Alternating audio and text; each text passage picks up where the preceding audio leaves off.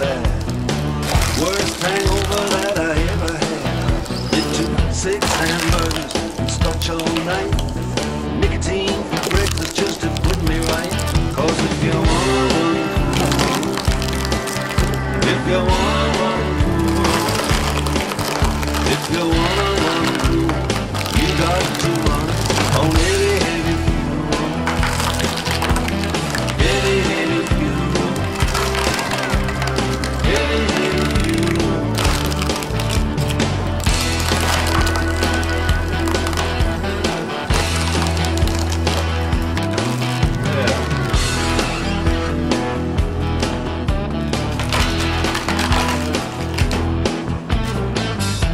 life makes perfect